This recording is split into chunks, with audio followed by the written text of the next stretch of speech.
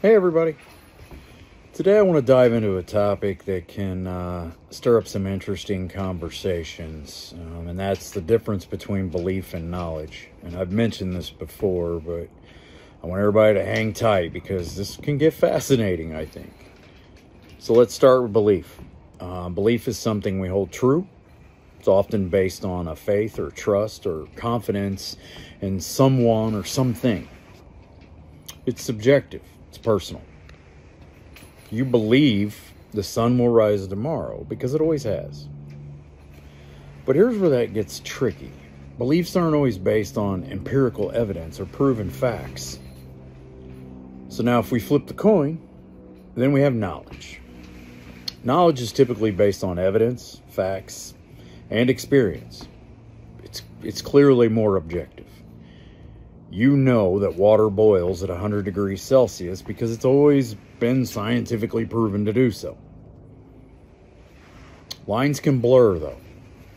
Our beliefs can influence our understanding of knowledge. If you've ever heard of confirmation bias, well, it's when we favor information that confirms our beliefs. Okay? So let's say that you believe that all cats are evil masterminds. Don't come at me, it's just an example. You're likely going to notice every time a cat does something sneaky. Um, and you're probably going to ignore when they're being just cats because you think they're already, you believe that they're evil masterminds.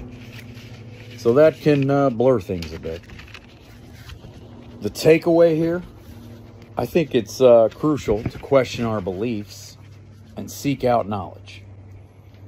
Be open to changing your beliefs.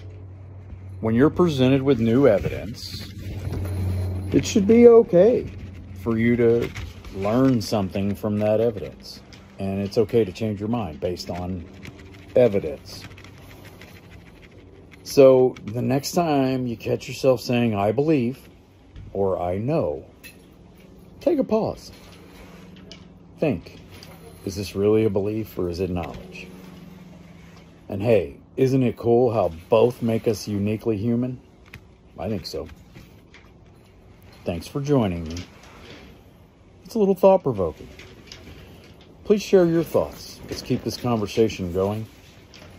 Remember, life's all about exploring and understanding. So we should try to explore and understand each other's beliefs, but we should also make sure that we know our beliefs are our own. They keep us from doing things. They keep me from doing things, my belief.